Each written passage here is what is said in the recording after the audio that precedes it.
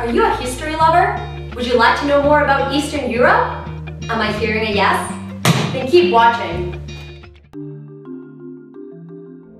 Welcome to Destination Uncovered by National Geographic, where we'll tell you everything you need to know about your next big adventure in 120 seconds. Did you know that Yerevan, the capital of Armenia, is 2,791 years old?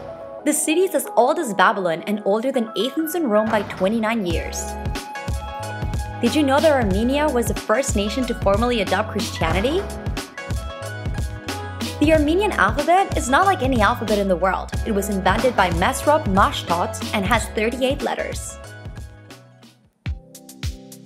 Do you want to go back in time?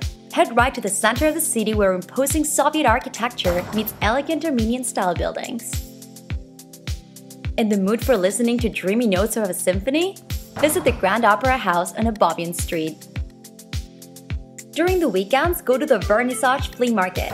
It is a great experience and you can find little souvenirs that date back from the Soviet period.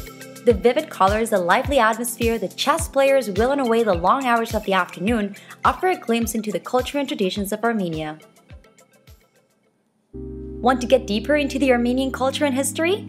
Know that there are a number of day trips, and public transportation is pretty cheap and will get you everywhere. Pretty practical if you're on a budget. Take the bus and go visit the Geghard Monastery, which dates back from the 4th century.